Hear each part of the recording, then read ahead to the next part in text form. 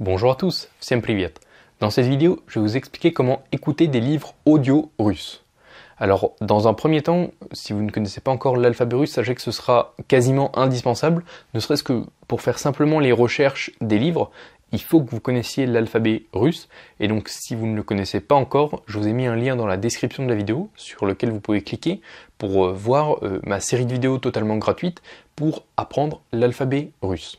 Mais bon, pour ceux qui le connaissent déjà, on rentre directement dans le vif du sujet. Euh, la première étape, euh, avant même de faire votre recherche, c'est d'abord de traduire le titre du livre. Et donc, euh, on va prendre un exemple très classique, guerre et paix. vous ne savez peut-être pas comment ça se dit en russe, et peut-être que même si vous le savez mot à mot, peut-être que ce n'est pas euh, exactement euh, formulé de la même manière. Bon, en l'occurrence, euh, je n'ai pas le bon exemple, mais certains livres qui sont traduits, qui ont un titre traduit différemment et pas juste mot à mot. Donc c'est pour ça que va d'abord falloir traduire le titre. Pour traduire le titre, le meilleur, enfin l'outil le plus, le plus fiable, c'est Wikipédia. Donc tout simplement, vous allez sur euh, Google ou je ne sais quel moteur de recherche, vous faites votre recherche, vous allez vous tapez donc guerre épée, vous allez sur la page Wikipédia et vous descendez un peu sur la page pour trouver dans la colonne de gauche euh, l'onglet des langues et donc vous cliquez sur Ruski, donc russe, et vous allez tomber sur l'article Wikipédia, sur la page Wikipédia de guerre épée en russe.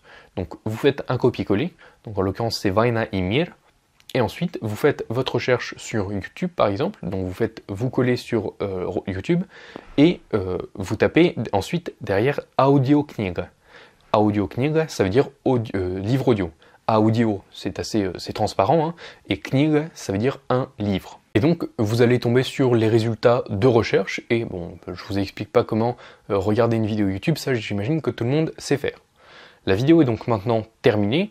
Euh, c'était une vidéo assez courte, en même temps c'est pas un pas un principe très complexe. Mais euh, si ça vous intéresse d'aller plus loin, dans la description de la vidéo, je vous ai mis trois liens. Donc le premier, je vous en ai déjà parlé, c'est pour apprendre l'alphabet russe si vous ne le connaissez pas encore. Le deuxième, c'est un programme payant. Donc il n'est pas comme le premier, le premier il est gratuit, euh, le deuxième il est payant. C'est démarrage efficace c'est un programme qui a pour objectif de vous faire démarrer l'apprentissage du russe de la manière la plus efficace possible. Ça dure à peu près un mois, un mois et demi même. Et euh, c'est composé de vidéos, je vous apprends des mots de vocabulaire, je vous apprends bien à bien prononcer, je vous donne des astuces pour ça. Bref, euh, je vous donne aussi une bonne méthodologie, mais bon, je vous laisse vous en renseigner sur euh, le lien en question. Troisième lien, du coup, c'est pour les cours particuliers. Si vous voulez prendre des cours avec moi euh, pendant plusieurs heures euh, par Skype, par exemple, vous pouvez tout à fait. Pour ça, il faut aller donc sur la troisième, enfin le troisième lien, euh, vous renseigner sur la page, voir si les tarifs vous conviennent, si les horaires aussi, et donc on pourra éventuellement se contacter. Donc je vous laisse aller voir tout ça. En attendant, je vous remercie pour votre visionnage et je vous dis à tous, paka ясно стало теперь Столько лет я спорил с судьбой Ради этой встречи с тобой. Мерз я где-то, плыл за моря. Знаю, это было не зря. Все на свете было не зря. Не напрасно было